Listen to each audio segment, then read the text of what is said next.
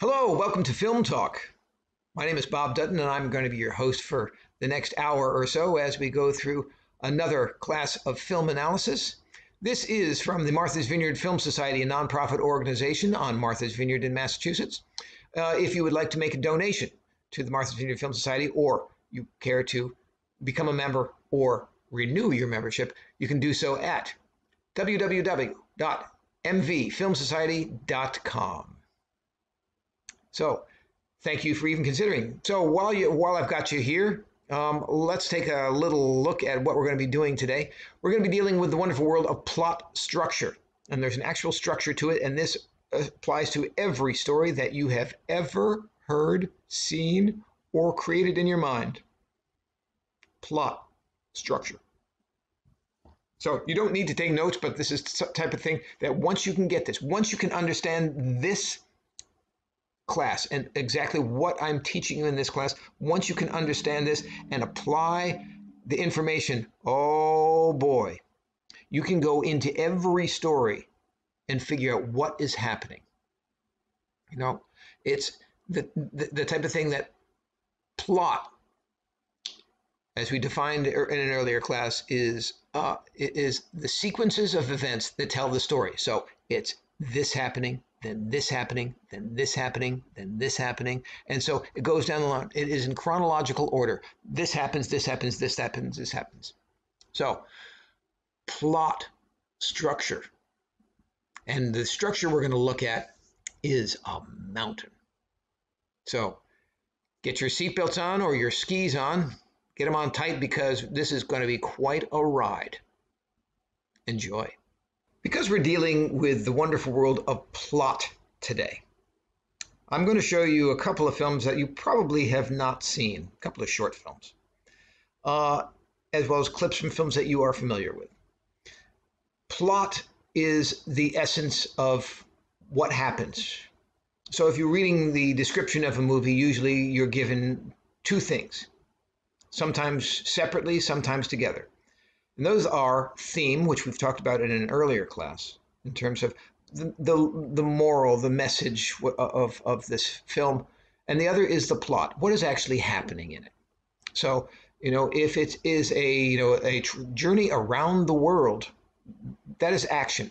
So plot are actually actions. They're not necessarily um, characteristics of a human being in terms of, oh, you know, Jerry was a nice guy. That's not plot. That's character. Plot is action. This happened, this happened, this happened, this happened. And by identifying the things that are actually happened, it allows us to go on the journey with the characters.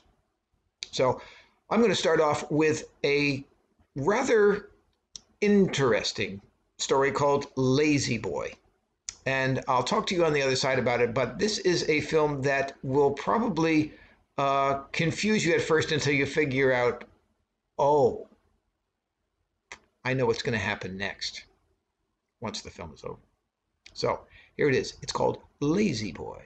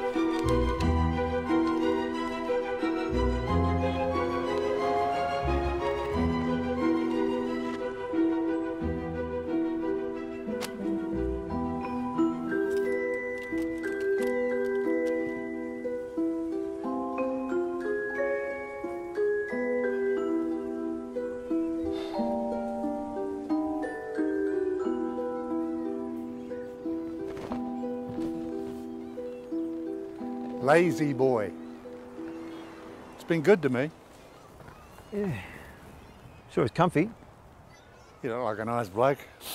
What do you reckon? 30 bucks? Deal. Now, use it wisely, mate. Use it wisely.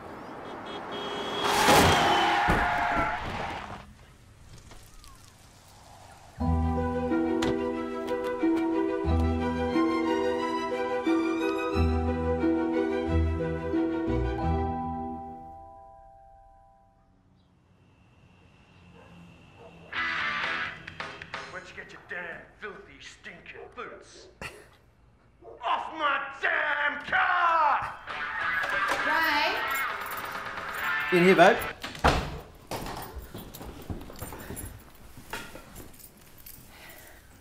What's that? Isn't she a beauty? Picked it up at a garage sale.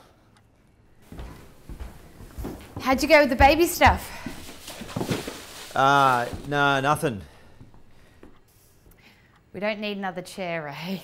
Yeah, I, I know, but this was a bargain. Yeah, well, put her with all the other bargains. So you're never going to believe it happened at this garage sale. This van came out of nowhere. and- Where'd you get your damn filthy, stinking boots? Off my damn car!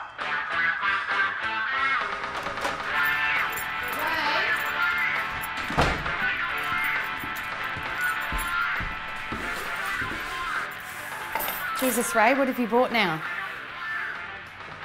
Shouldn't you be in the kitchen?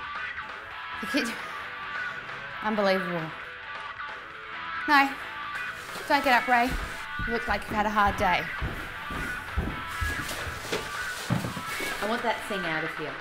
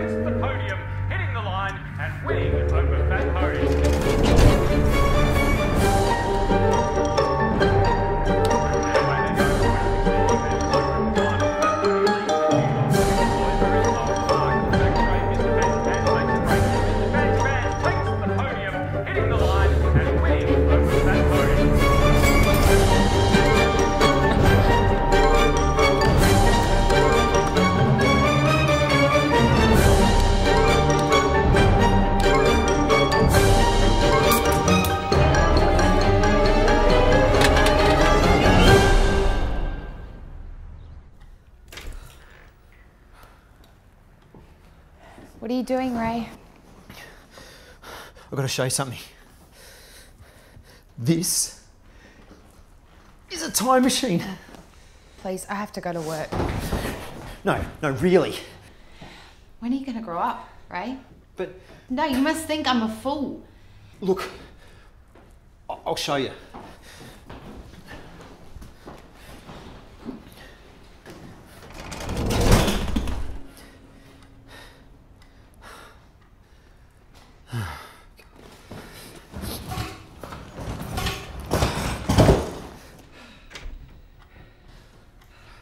What are you doing, Ray?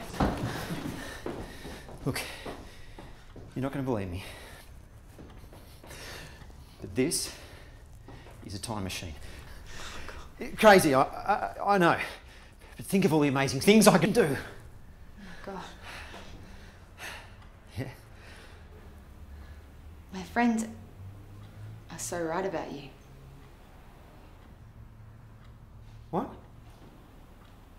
You're selfish. You take me for granted. And you're going to be a lousy father. Ray, this kind of thing was cute back in the day, but you have to get your shit together. I have to go to work.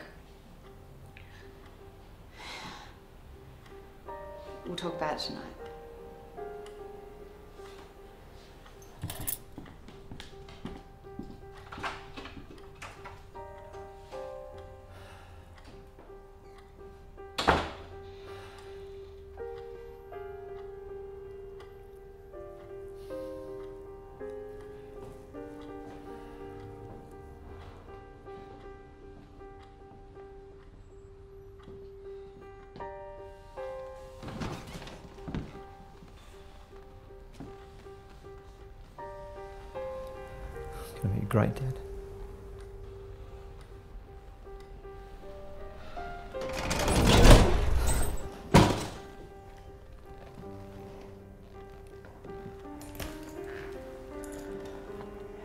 Doing, Ray? We've had fun, haven't we? Good times. Yeah, of course we have, babe. But, you know, our lives are about to change forever. We have to make plans for the future. You, me, and our little girl.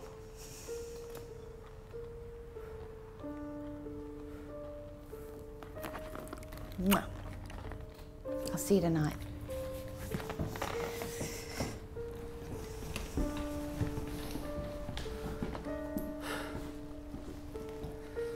Little girl.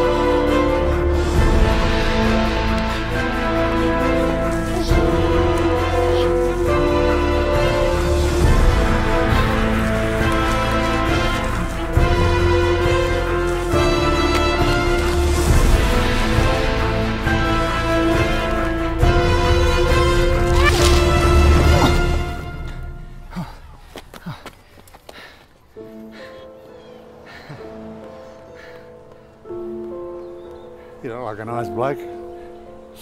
What do you reckon? 30 bucks? Deal. Now, use it wisely, mate. Use it wisely.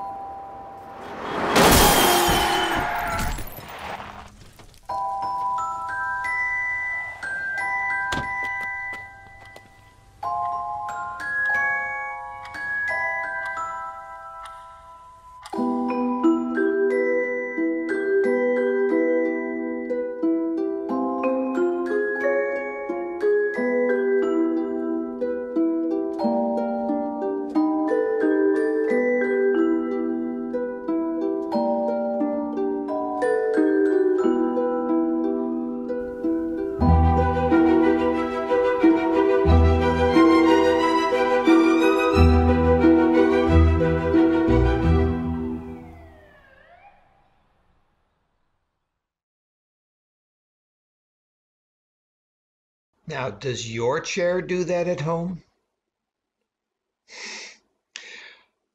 What's interesting here with this story is that you're learning what happens, but your brain wants to put things in chronological order. And so when you repeat a minute and a minute and a minute, you think, okay, well, you can erase those first ones. It's like, no, because even though time goes back and forth, the time for the character continues in a single path. And so that line is his time. His going back and forth in time is irrelevant to his personal journey, which is I'm going to start here and I'm going to move here through time in a chronological order. So obviously, when he gets to the end, he finds that he has now entered a loop that he will never get out of. He's always going to go this because he, any chance he had, he blew because he became no smarter in the end. So we'll talk about these unusual journeys back and forth in time. But now I'm going to show you another short film. Uh, this film is called Alma. It is uh, it is kind of creepy. Enjoy.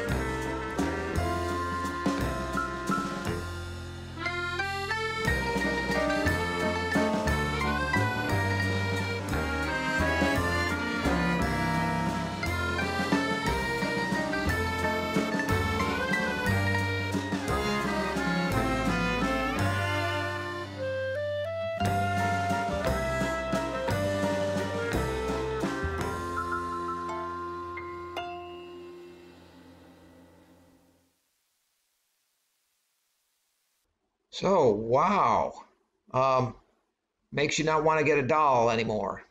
Um, this film, Alma, is the story of a doll, not about a little girl. This is the story of the doll who, or actually of the, of the store, full of dolls that traps children, almost as if the children were was its food. I'm going to pull you in.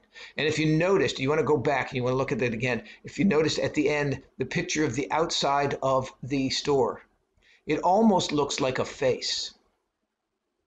The windows, and it looks like it's got eyes and teeth because it eats children looking for their souls.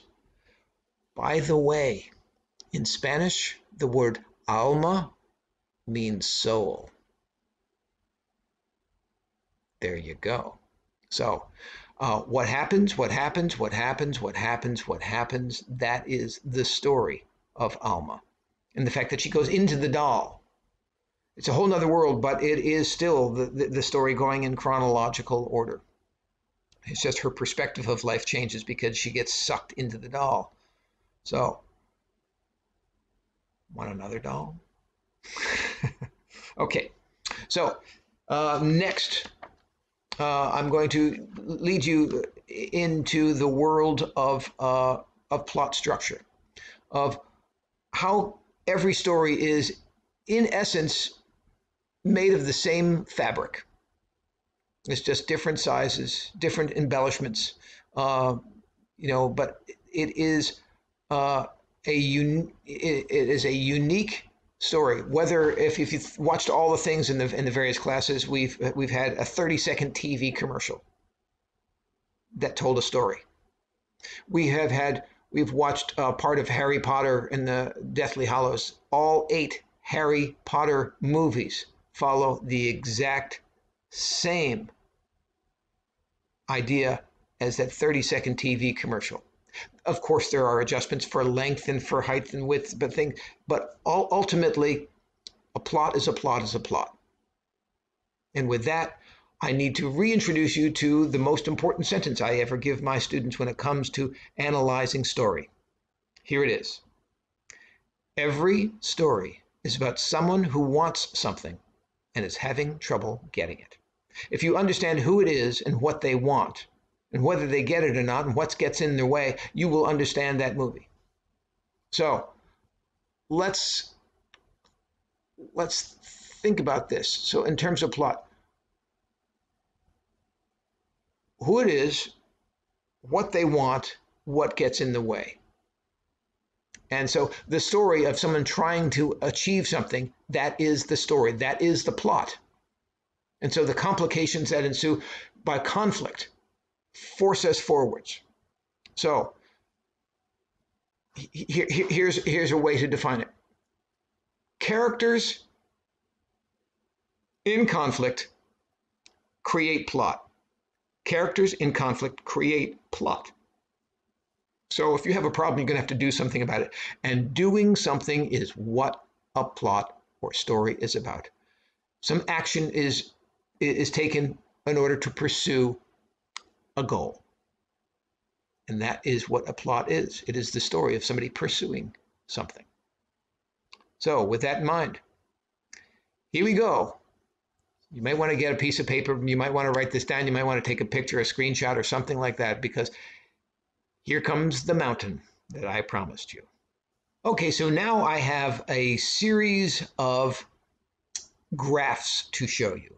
And because I uh, am showing you these graphs, I'll be talking in the background so you don't have to look at me anymore. Lucky you. Okay, um, these graphs begin with this mountain. And as you can see, this is a mountain that's got some other lines on it, uh, but it looks like a formidable mountain. And indeed it is because this is what every plot looks like. Whether it is a 30 second TV commercial, it is a joke that somebody tells you, it is a uh, the, the entire Harry Potter series of seven books. Uh, it can be War and Peace. It can be an episode of The Golden Girls. plot is the same thing. The, the, the length of the mountain, the height of the mountain, and the various uh, crags in it uh, will change. But essentially, this is what you're looking at for plot. So when we look at this, uh, it is on an XY axis. Axis, and the axis Y is always the axis that goes up and down. As if you take the letter Y and follow the the, the stem in the middle and just follow that down. There's your Y axis. So uh, with this, uh, the X axis, in other words, from left to right, indicates what uh, you probably have already figured out. This is in terms of uh, a graph is time in chronological order. And I say in chronological order because that becomes very important. The reason it becomes important is because almost every story, there is information that is out of order. Whether somebody tells you what happened last night or five minutes ago or 3,000 years ago, your brain automatically adjusts and put things in chronological order for you to understand it because it is a logical order that you can understand. And so, uh, by having things in chronological order, even though they're delivered out, out of order, you have a firm understanding of what is happening. So, next, where this red dot is, it's the intersection of the x and y axis. That dot is very important. What that is, that's, that symbolizes the beginning of the story. So the start of the story is right there. If you're in a book, this is everything after the prologue. So um, even in movies where there may be something that, you know, it's like, you know, it may say 1938 and there's a scene and then the next thing that it, it, the screen will say and now today and so you get to see what this little prologue of something that has happened that's important that that background information that is we'll, we'll get to that information in a while but this is where the start of the story is generally page one the first minute of the film or tv show so you start here uh, which leads us now to our next area, which is this area immediately to the right of it. It is called status quo. And the status quo is the state of things. So this is how things are like. During a movie, during the status quo portion of the film, we will meet the characters, particularly the protagonist. We will get to understand the setting. Where are these people? When are these people? What are their relationships like? What are their jobs? Uh, and what is the reality in which they live? And if you want to know more about reality, you can go back to uh, previous episode. But basically, uh, reality means the uh, realistic world, or what, what is realistic in the world that these characters inhabit.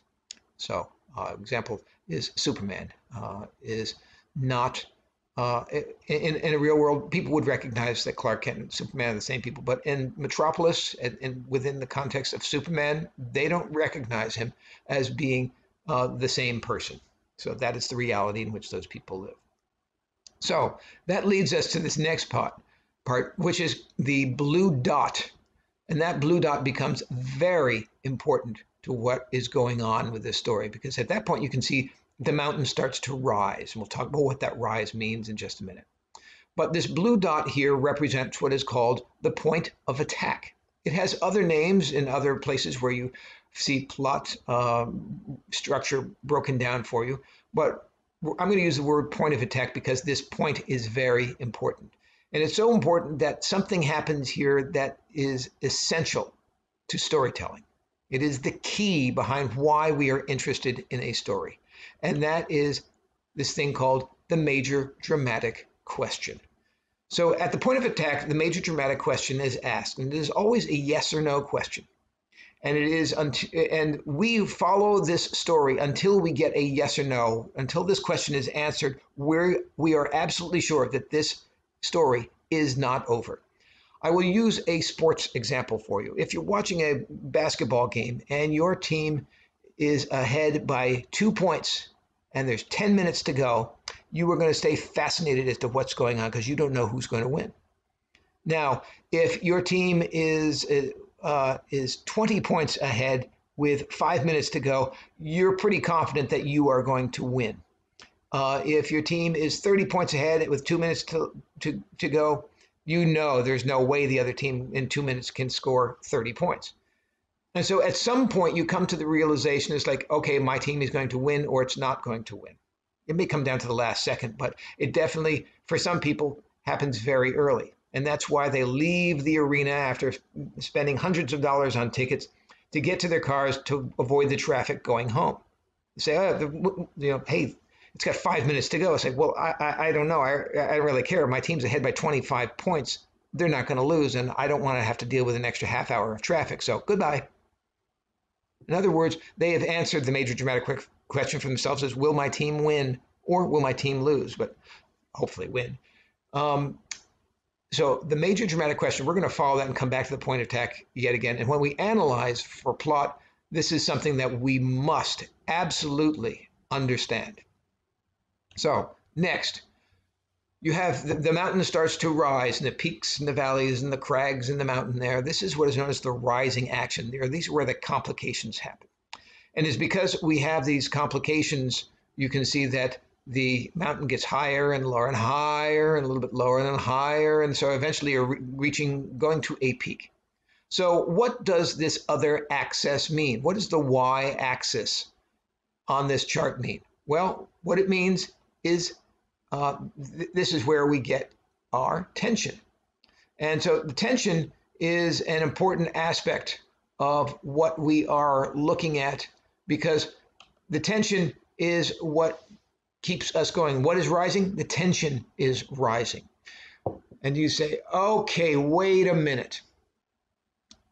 The opening scene of Jaws. You know what I'm talking about. The opening scene of Jaws. There's tension there. And that happens before the point of attack. That happens during the status quo. Opening scene of Jaws. Ready? I'm about to show you the opening scene of Jaws. Enjoy. What's your name again? Chrissy, Where are we going? swimming! Slow up. Slow down. I'm not drunk. Slow down. Wait, I'm coming. I'm coming. I'm definitely coming. Whoa, hold up.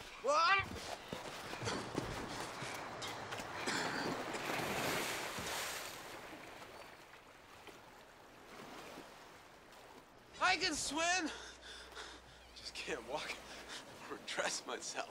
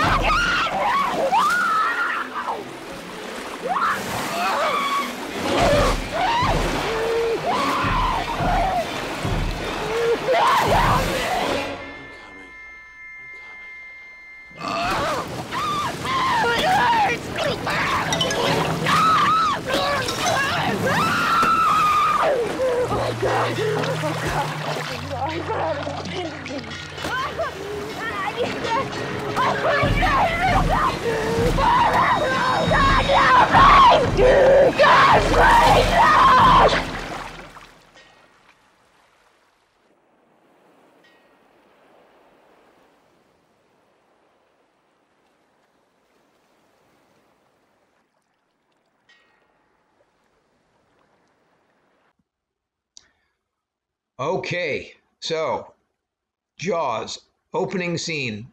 There was a lot of tension in that scene. Enormous amount of tension in that scene. This girl is being eaten by a shark piece by piece. We don't know what's happening underwater. We don't want to know for sure. But it is full of tension. And yet, if you look at our chart, during that section, which is the status quo, it's flatlined. That it, it is not tension. There's no tension there. Why? Why does not that that status quo? Why doesn't it rise there with tension? Because the tension is only in regards to one thing and one thing only. And here it is. The idea of tension, as you can see on this chart, is this is tension in achieving the objective. Attention in achieving the objective is what we are looking at. So the goal of uh, the major dramatic question is is to will the is to answer the question will the protagonist achieve their objective? We haven't met a protagonist yet so we can't ask that question quite yet. So we get to this next point. The yellow dot at the top of the mountain that of course is what we refer to as our climax and the climax is the point of greatest tension, you know, in in the protagonist achieving their objective. And so that does not mean it is the most exciting part of the movie necessarily. It means that there's the greatest tension, the least likelihood that the um, protagonist will not achieve their objective. And so th- it gets very exciting. And it is followed almost immediately, sometimes sometimes within the second, sometimes five minutes later, uh, at least within the story, of where this purple dot is. And this dot is very important because it connects to other things on this. Excuse me. It connects to other things on the mountain here, particularly the point of attack. What we reach here is what is known as the resolution. And the resolution is exactly when the major dramatic question is answered. So the major dramatic question is Will the protagonist achieve their objective? Starts at the point of attack and it ends at the resolution. The resolution is like, oh, my team has won the basketball game, therefore it is over. Even though there are other things still happening, the tension is is now seeping away because ah yes, we have an answer. Now this is uh, the point of attack starts what is called a story arc, which ends at the resolution. Understanding these two points of a story is essential for you to understand what actually happened. You take the plot, you find the point of attack, when the question was asked, and when the question was answered. And sometimes, because as you should already know, having watched this series, that you start by the end of the movie to figuring out what happened. And so by starting at the resolution, oh, at this point I realized we had a resolution. We we are we okay, this person was not receiving it. Well, then you go back to the point of attack. When did the problem begin? And so that will help you identify the objective, or not the objective, but the uh, antagonist as well. And so understanding who the who or what the antagonist is, and at what point they were defeated, or successful? And what point did that problem begin? And so the story arc is uh, particularly in uh, soap operas, you're going to find there will be multiple story arcs, story arcs happening at the same time. And so you'll switch from one story to another to another. And until you get to the resolution, until you get to the end of the story arc, you are quite sure that this is not over yet. And you'd be right. Coming up next is our falling action. Our falling action, in other words, the tension is uh, is seeping away very quickly.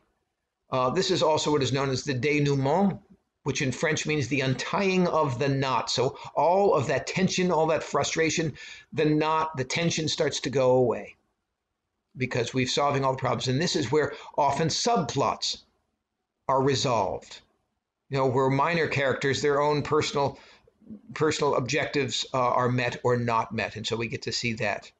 But Uh, it, uh, it allows us to sort of decompress as we wait for the rest of the movie to to uh, answer all of our questions, and therefore we can walk out pretty confident that we either enjoyed or did not enjoy what we saw, but we certainly understood what we saw. Now, this leads us to one other thing that we have yet to talk about, and that is at the very beginning of this chart. In the green, before you get to the status quo, before the start of the story, we have exposition. Exposition is expository information, expo- exposing the past. So, this is information that happened before the beginning of the story that is still part of it. So, you may learn, for instance, in the musical Annie, is that we know that she is an orphan. Oh, well, that's old news. That, that happened well before the, the story began. Oh, and her, her parents dropped her off. And so, when you get all this information about her past, it's like, oh, Oh, I get it. But as the story of Annie continues, they try to learn what ha- actually happened to her parents. Are they going to come and pick her up? And so uh, FDR sends out, uh, you know, the, the I guess J. Hoover to go figure out what's going on here, and they learn that her parents died 10 years ago. So that is expository information. And this, as I said at the very beginning, our brains put things in chronological order. That is just our nature because we want to have an understanding, and the logical order of things is logical. So, all of that information happens in the exposition, and sometimes that expository information will shift the size of the peaks in the mountain or whether they actually exist because there may be a piece of information that say oh i was worried about that. Now i realize i don't need to worry at all because those two those those two are related and they're tw- oh they're twins. Oh it's all making sense now. Before you even get to the resolution some things may be solved or they may be complicated based on exposition. Particularly in murder mysteries you're going to get you know somebody the, the detective asking somebody a question and they learn information about the past that allows them to start putting things back into correct order of time. And so their understanding of what happened and when it happened allows the detective or detectives to solve what the mystery is. So that is that entire thing that you see there from exposition to falling action. Those are the important points within a plot. There are others that I will not tell you about right now because you don't need to know more. this is enough for now. But there are other things, and particularly if you get into longer pieces, they gets a little more complicated. But at the same time, remember with longer movies, you ultimately have multiple stories going on. More than likely, you have minor characters with their own objectives. You have multiple objectives with from your uh, from your protagonist. You may have objectives from your antagonist. And so you're dealing with a variety of different plots. And so understanding in a movie where lots, an ensemble film, where lots of things are happening and people are living their own individ, individual lives. And so when you, you're following five different characters and, and what they're all looking for, then you are looking at five different stories, even though they're happening at the same time. So every uh, if you see, look at this mountain here, every peak within the mountain going up the rising action is the exact same thing. As the tension goes up, then the tension goes down. Then the tension goes up and the tension goes down. Then the tension goes up and the tension goes down. And so the objective is not just one objective, it is a series of smaller objectives. We'll talk about that more when we get to an objectives class. Uh, but for the time being, you just need to know that this is rising action leading to a climax, a resolution, and falling action. So, with that in mind, I'm now going to show you a, uh, a short film. So, hopefully, you can uh, apply what you've just learned to what you are about to see. Uh, I'm going to purposely make this a little difficult for you, but uh, at the same time, we'll talk about it on the other side. This is Mr. Bean once again joining us for another film talk class. Uh, this time, he is at the library.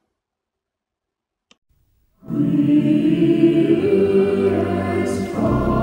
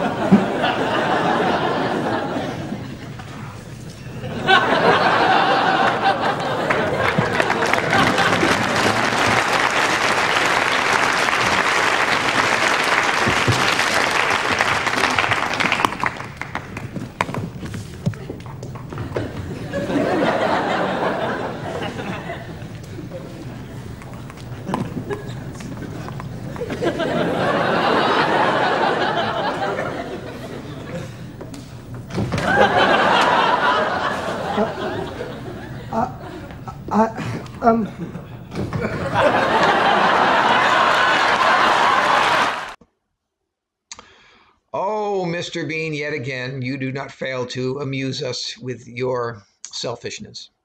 Um, Mr. Bean, uh, of course, uh, jeopardized his own success in terms of achieving his objective because he had to come back for his bookmark.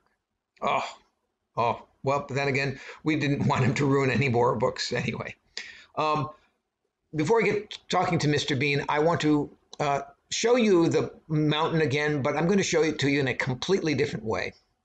Years ago, while I was teaching this, something just clicked in my brain, and so I now uh, review plot analysis in a completely similar but completely different way. So here we go. Going to going to the slides now. Here we have a valley, not a mountain, but a valley, and a giant snowball uh, that is being pushed by a friend of yours. And I know it's a friend of yours because uh, in the middle of this, uh, represented by the red X, that's you.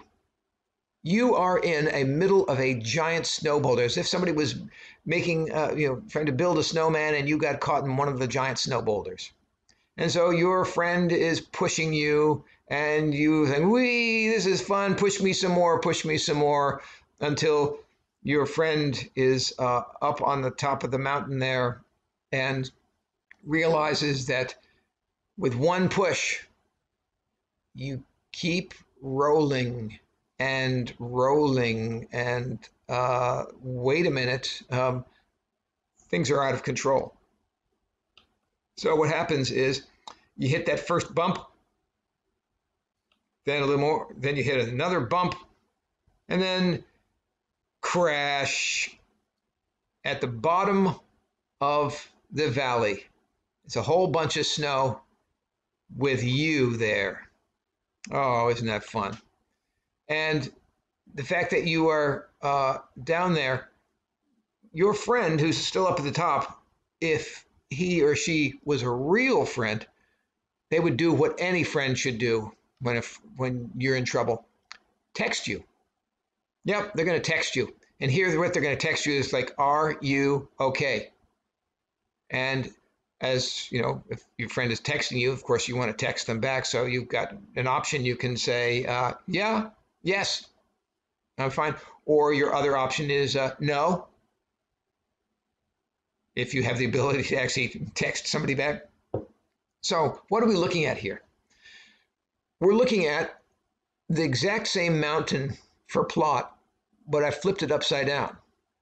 And the point of attack is, you know, is the point where the snowball starts to roll by itself. When you no longer have control of a situation, you have a problem. As long as it's still within your hand, your your grasp, and you can control it, it is not a problem. And so, the "Are you okay?" is the point of attack because that's what you're thinking. As soon as the ball starts to roll by your, by itself, you're thinking, "Oh, I hope this person's going to be okay."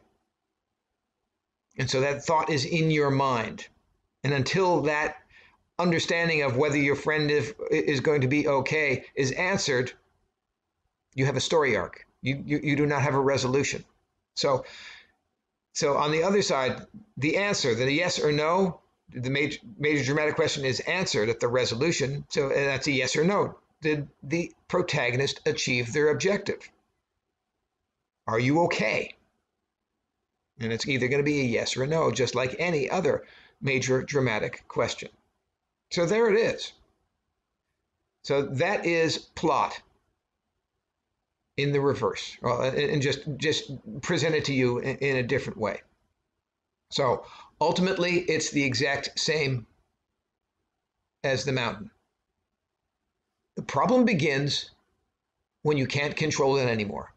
And at that point, you have a major dramatic question in your head. And until that question is answered at the resolution, this story will not be over. That's it. Okay. So, are you okay? Yes or no? So, Mr. Bean's problem is when he is when he writes in the book. He's on the tracing paper. He turns his head, he sneezes, and then he starts writing in the book. He realizes he has a pro- he has a problem. Instead of admitting to his problem, he goes about trying to erase, making a bigger mess, and then putting white out. white out in this antique book, making it even worse, trying to cut the pages out, making it even worse. So he is just making his situation more and more difficult. And therefore, you see the mountain, the hills, the tension goes up, the tension goes up, the tension goes up. Just when he thinks he's fixed something, he makes it worse. When he thinks he's fixed something, he makes it worse. And so the tension, the hills go higher and higher and higher and higher. So that's where we look at plot. The, the actual things that are happening. And so you can determine plot by actually identifying the things that happen, and those are the things that Mr. Mr. Bean did. Don't have him fix your, your pool or your, your refrigerator or your washing machine. That he no, no, not gonna happen. Okay, now another film a short film, a an animation. Uh, this is uh, this is a real kicker. Um, this one is called Destiny. Enjoy it.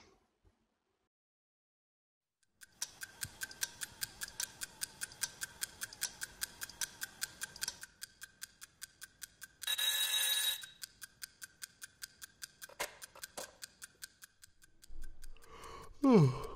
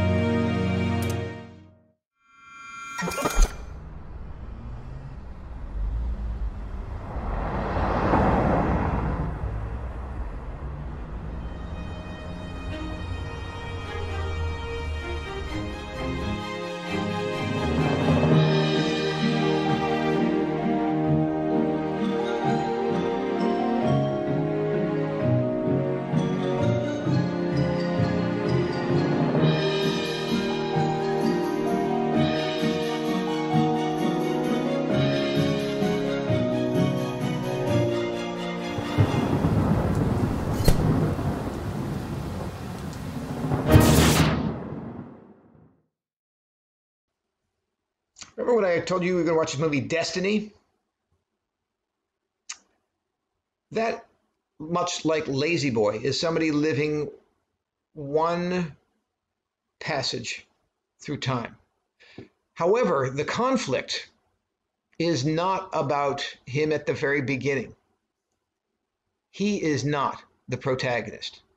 The second guy through is not the protagonist. The last guy through, he is the protagonist and he sees other versions of himself, but those other versions are not, they can't even see him, but they are not the same character. It is the third time, the character in the end. He is the one who has learned from the past because this is information he has. And so all of that information leading up to that third pass is status quo. It is the state of things. That is the condition. Those the, that's the way things are. When he wakes up, those that's the conditions. Those are the things that he knows. Even though he's got very little time, he knows all those things. And so they establish for him that is the story. In It's a Wonderful Life, Clarence the Angel spends the first half an hour learning about George Bailey, and all of that information is exposition. The first hour of It's a Wonderful Life is exposition. When Clarence finally comes to George in Bedford Falls or Pottersville, that's when the action begins. The action, the plot, the things that actually happen, the pursuit of a goal. We will talk more about It's a Wonderful Life in a future film talk called Guardian Angels, because there's a very specific difference between those stories and others. And It's a Wonderful Life and Clarence are a perfect example of a guardian angel movie. So, next up, here's another one for you to watch. Chloe! Meg! Yeah, back here, Meg.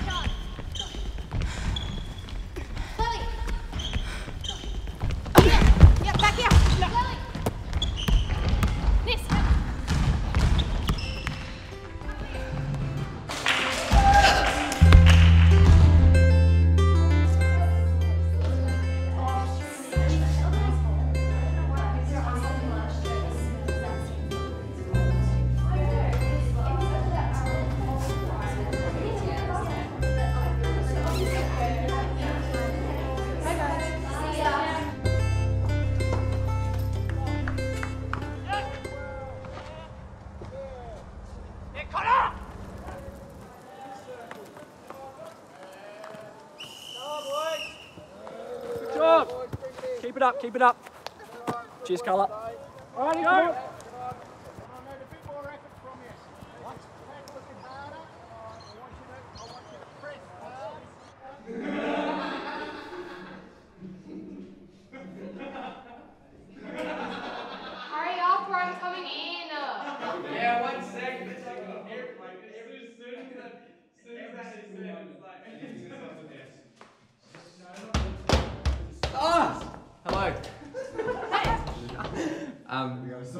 After you. Maybe not. I've obviously got the big right there. oh, now it's there. What's so funny?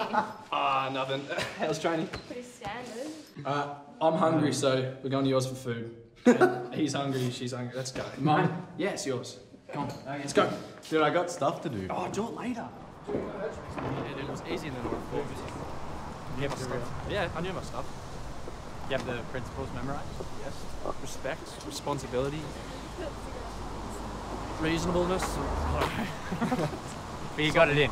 Yeah, yeah. Dad made sure of that. I don't know, dude. I don't know if I can just be bothered. It's like when Daniel's captain, we literally spent every single lunch with Mr. Zekas. Who else can get it though? Me? I actually heard Bridget uh, from camp said she applied last week. So. I can't imagine anything worse than Frigid as school captain. Now I hope I do get it. She could get vice though. Please kill me for that. God, Connie, you smell like egg. No, no, no. It's okay,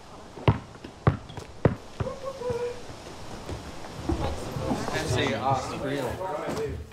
It's an insult. Yeah, Bag it's a out. I mean, I try to use as much deodorant as I can. Really? Whoa, Mrs. Wilson's had a busy day. Is that lace I see? Oh my god. Oh, dude, that's hot. oh, uh, you, you left something there, buddy. Where? Oh, there, Right right. on the you can pick it up for me instead of being a flood. What's that? Dude, like, what is that? Do you have something to tell us? Like, Like, do you sleep with him, like on your chest or something? Like, just, just shirt off, shirt off with Mr. Squiggles right here. I was like, "Hi, hi, hi." I'll be I'm back. pregnant. Better after saying all that. Hey, sad.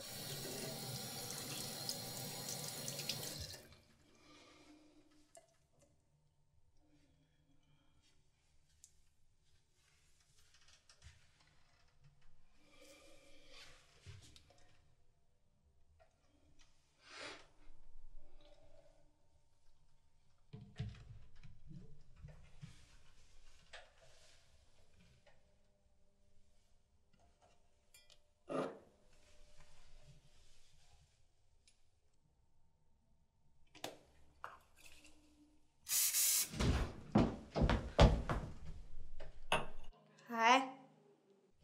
Hi. Sorry.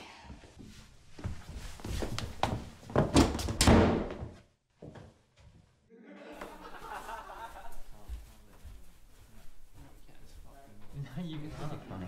yeah, it can't It's so like- bad.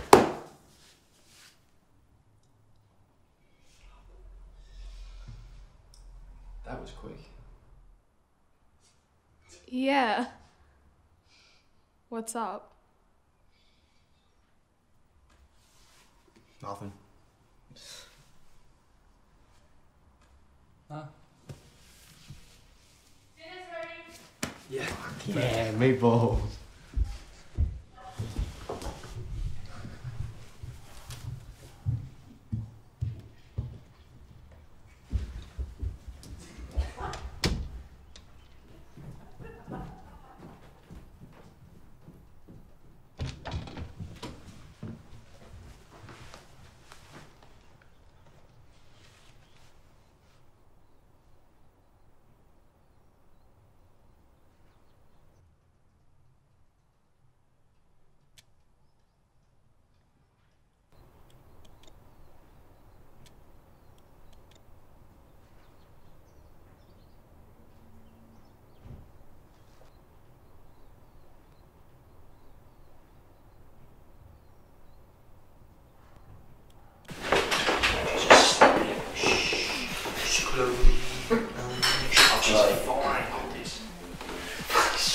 Marco, let's Well, come here. What's this? What are you doing? What do you reckon it all leads to, right? Where does it go?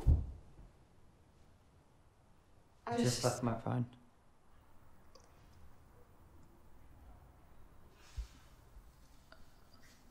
that that video. Wow. Yeah. Like, it's not like we're gonna spread it around or anything.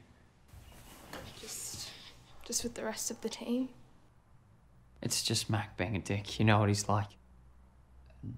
I don't know. I, I didn't think you'd No, be the type to.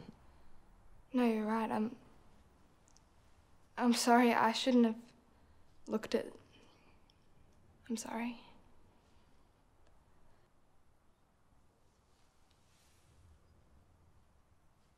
It's fine. Right?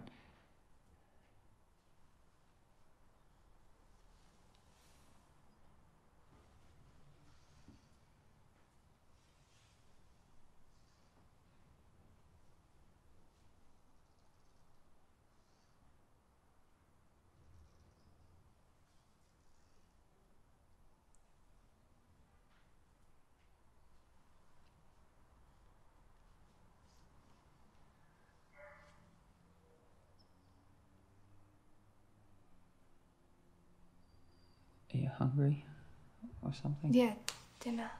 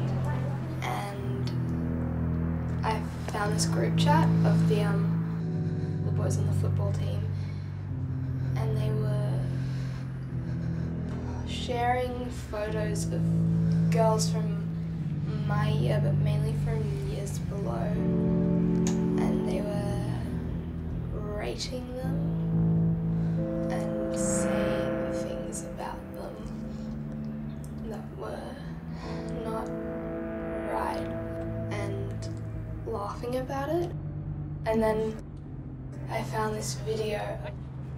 Hey! Back down, back down, back down.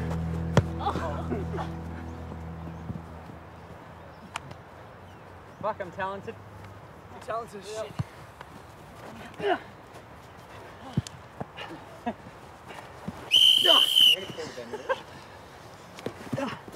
Bring it in, boys.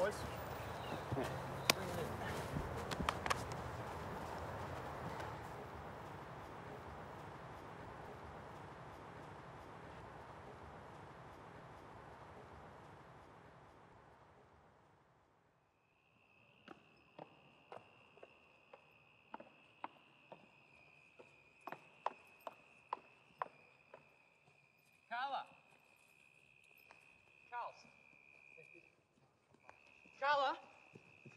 Carla, hey. Hey, what's up? Um, what you and I had spoken about, right? Like, you you didn't tell anybody anything, did you? Like, I'm sorry, I'm just.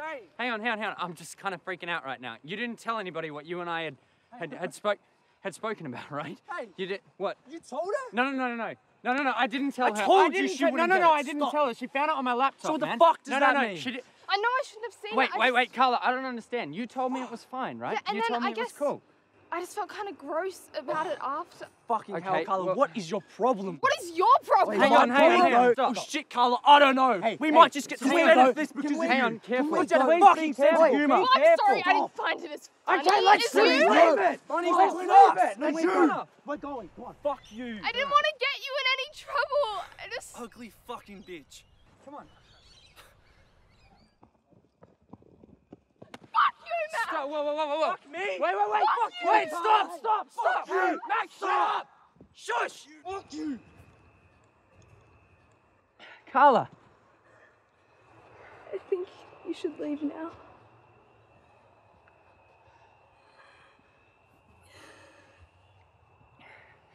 Finn. Let's go. Finn.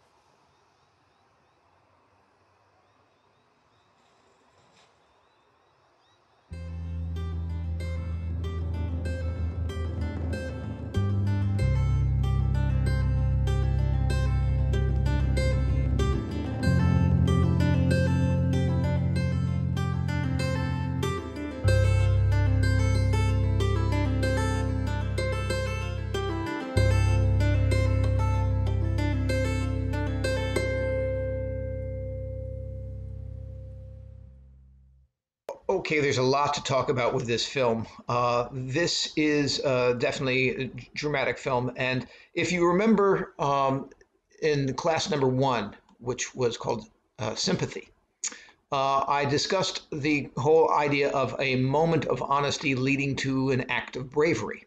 Uh, and this is a perfect example of a film that does exactly that. You, usually find that in, in, in dramas less so than comedies.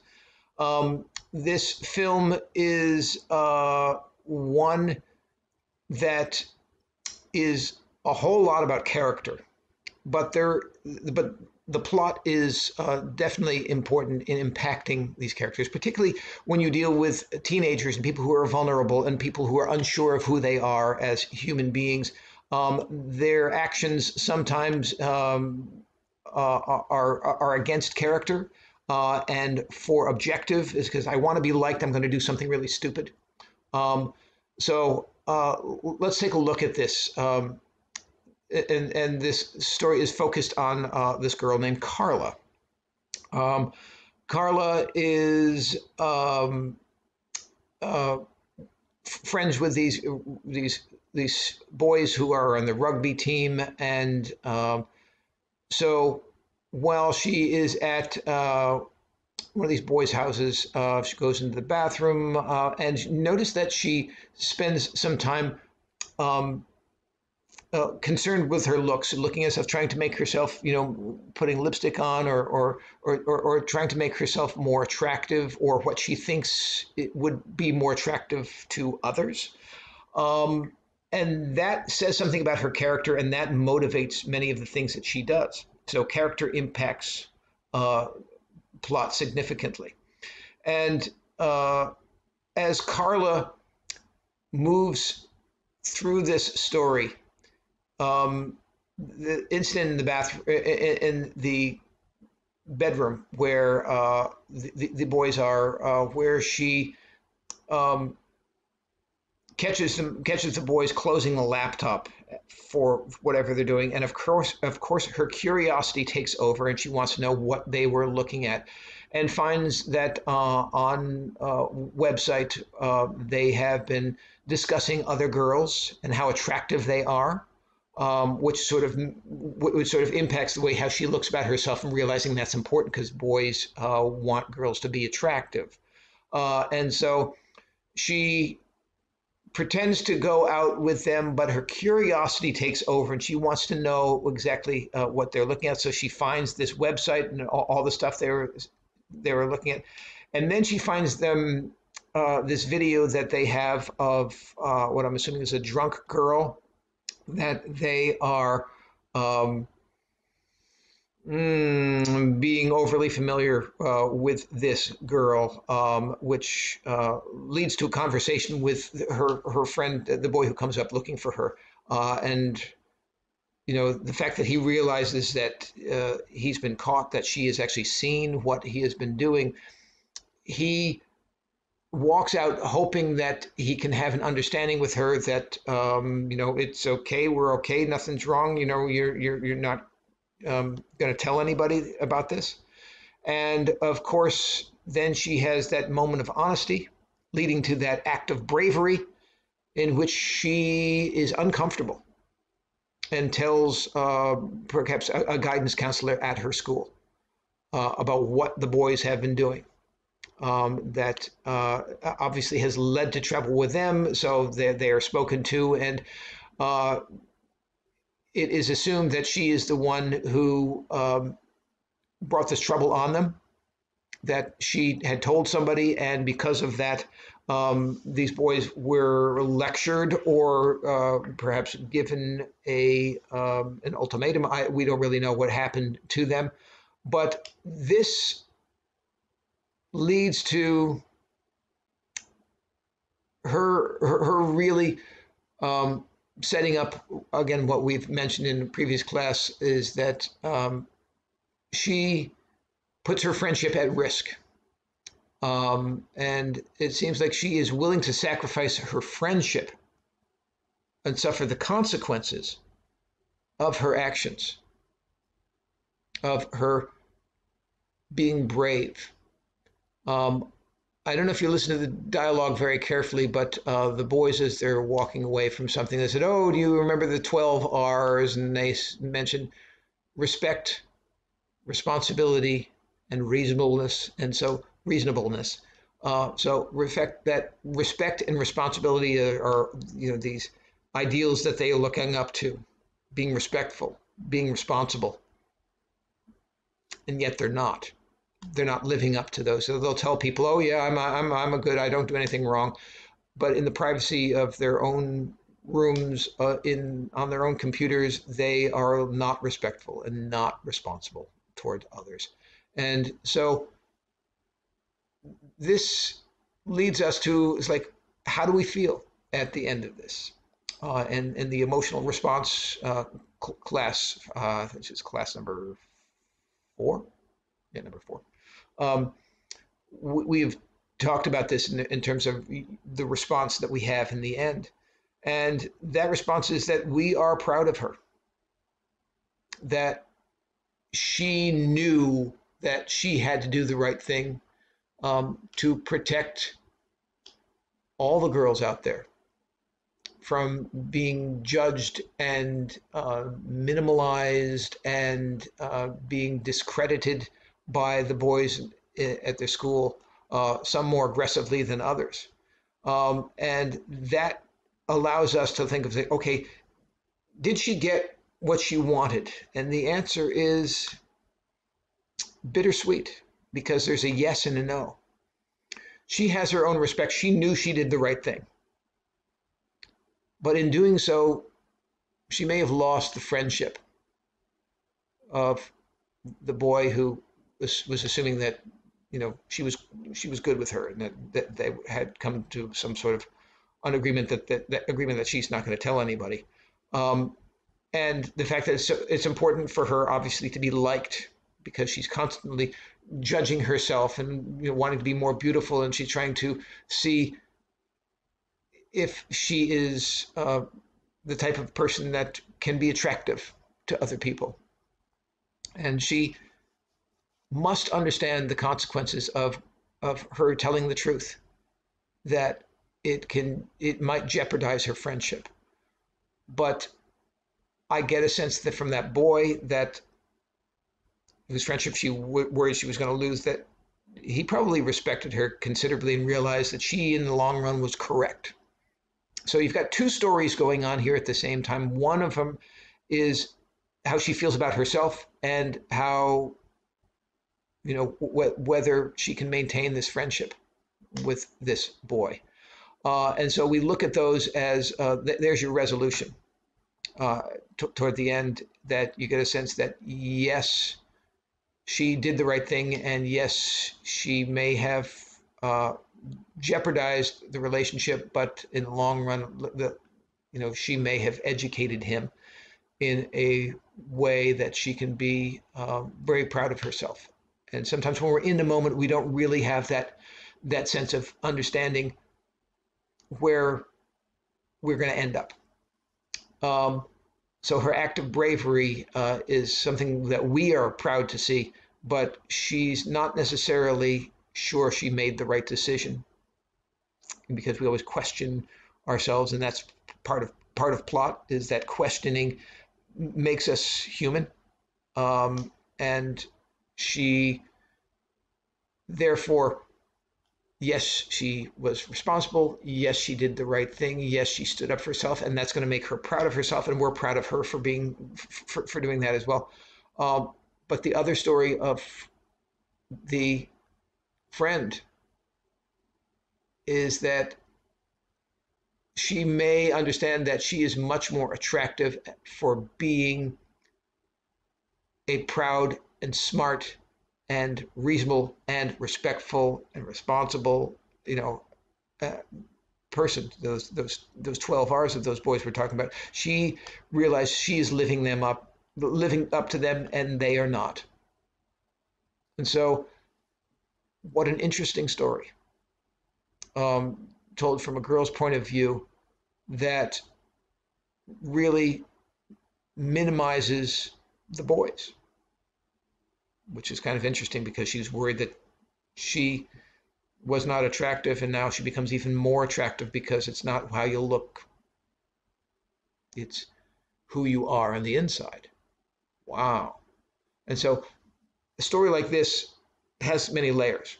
Plot is only one of the six ingredients, as we've learned in previous class. And so understanding how to put plot and character and conflict and theme and mood and setting all together. That's the joy of storytelling, of being able to figure out how to do it. So having that mountain as our guide, um, hopefully I can be your Sherpa and lead you up the mountain uh, and lead you down safely so that you can climb mountains of your own in the future.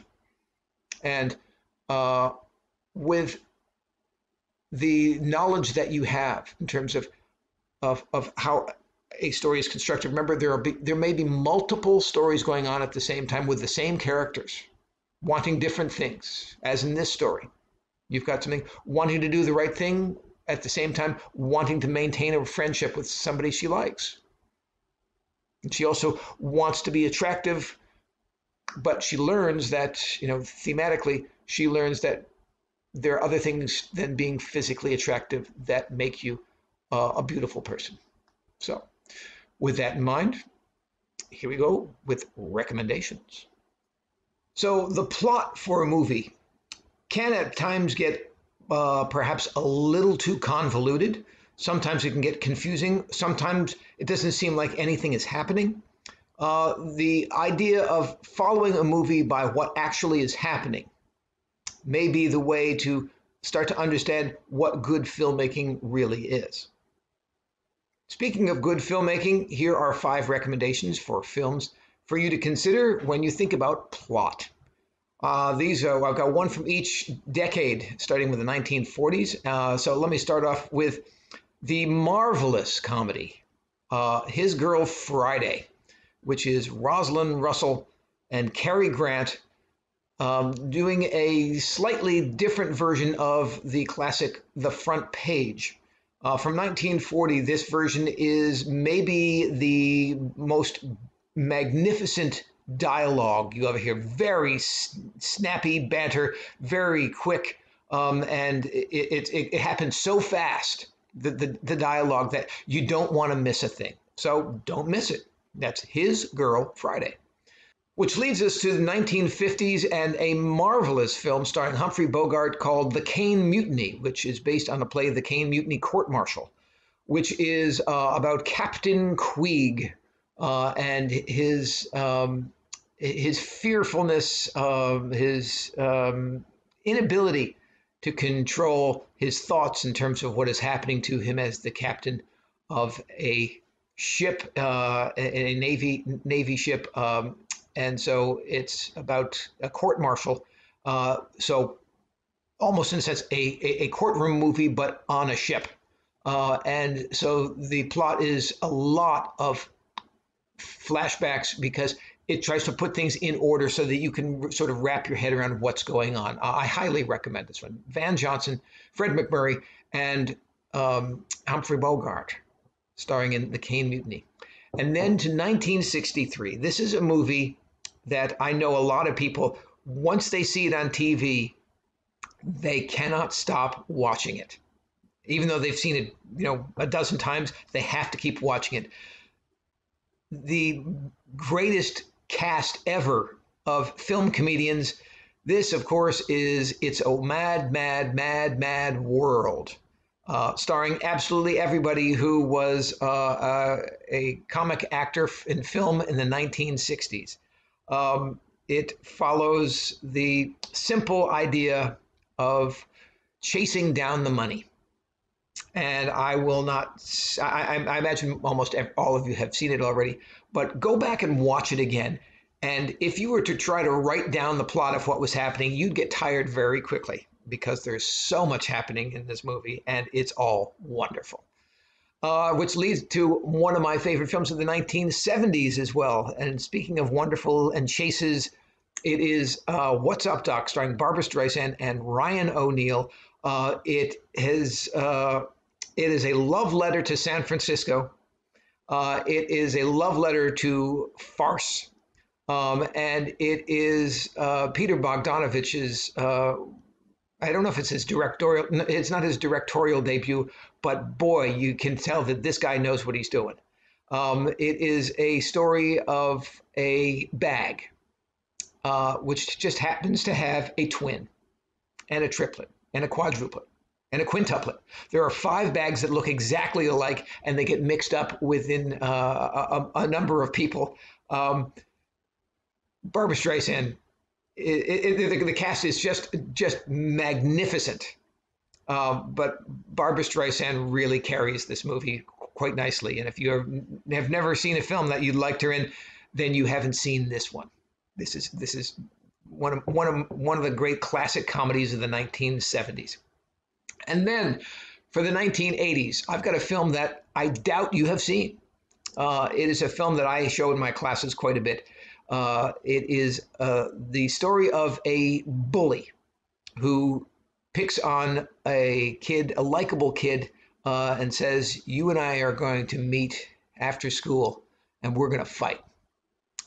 The film is, in a sense, a takeoff of High Noon with Gary Cooper, but instead, this is called Three O'Clock High. Um, it stars a bunch of uh, teens that you probably don't recognize. Um, and Jeffrey Tambor is probably the, the, the lead male that you would recognize from from anything. He plays a, a teacher. It's a relatively small role, but it is the story of someone's day starting off okay, and then from one incident, everything starts to fall apart. Everything he tries to do to make this problem go away only makes more problems for him. It is the, you know, this is the brilliance of great scripting in which you get so into what's going on and there are so many characters that are trying to help things and only make things worse. Um, this this film always makes me laugh but it's also um, really well constructed. And um, uh, if you pay careful attention to where the character is in his journey in this uh, of, of how he complicates things, but eventually gets what he wants. Um, you, will really, I, I think, find this to be a really well-made film. It is beautifully photographed um, by Phil Joanou, who's the director, who you really have not heard of since. Um, but please check out Three O'clock High. High school movie from the 1980s, but it is absolutely worth it. Oh, speaking of worth it, if you uh, are enjoying this series or this particular episode of Film Talk, by all means, um, write to us down below. Uh, you can you can subscribe so that when we get the next one out, you'll get noticed uh, for that.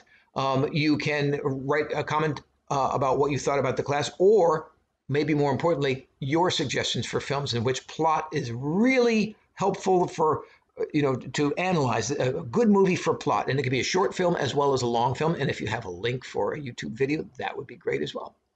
Uh, and uh, also, before I forget, uh, we are seeing, seeing, as the Martha's Vineyard Film Society is a nonprofit organization, we are uh, looking always for donations. Um, or grants or uh, sponsors. So if you are one of those people or would like to be one of those people, or if you'd like to be a member of the Martha's Vineyard Film Society, please contact us up at www.mvfilmsociety.com. And you can uh, you can give us money through our website, or you can check out all the other things, or you can check out other classes.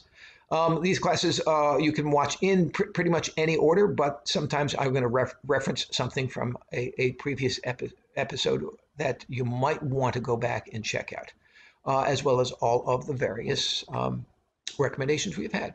So, with that in mind, uh, I hope you've enjoyed. Uh, we'll be back again with a new episode within the next week. So, uh, uh, until then, stay on the path.